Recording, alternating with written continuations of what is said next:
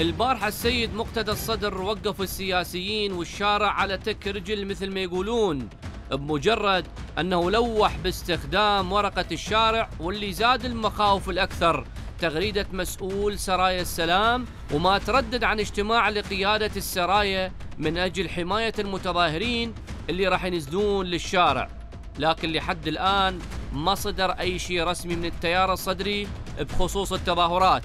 والظاهر فعلا كانت مجرد تلويح من أبو هاشم بس كان تفاعل الجماهير قوي وبرسالة كلش خطيرة وكبيرة بأنهم رهن إشارة السيد في النزول للساحات وإلى الميادين إذا ما أمر بذلك. طبعا الإطار مسكت على خطاب الصدر ومفوت الاتهامات اللي وجهها للثلث المعطل بحيث وصف الإطار في بيان طويل وعريض الخطابات المتهمة له بتعطيل تشكيل الحكومة بأنها محاولة لتضليل الرأي العام بعد فشل كل الكتل بمشروعها الاستحواذي على حد قوله.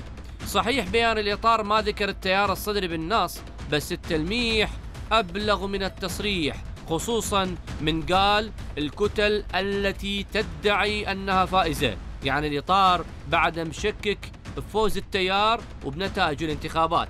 ومع هاي الانباء عن رسائل عن المرجعية الدينية للسيد الصدر نفى مصدر مقرب من الحنانة. وجود هكذا رسائل لا بشكل مباشر ولا عبر وسطاء. يعني بالمختصر المفيد لا تحاولون تدخلون المرجعية بهاي الخلافات. المصدر أكد أيضا على أن مهلة الثلاثين يوم ما تزال قائمة. وإذا فشلت الأطراف المعنية بعد مدة ال 30 يوم راح يكون للصدر إجراءات لاحقة لحلحلة الأزمة.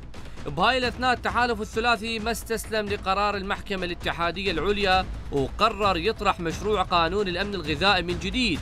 بس هاي المرة عن طريق البرلمان لتجنب الإشكال القانوني.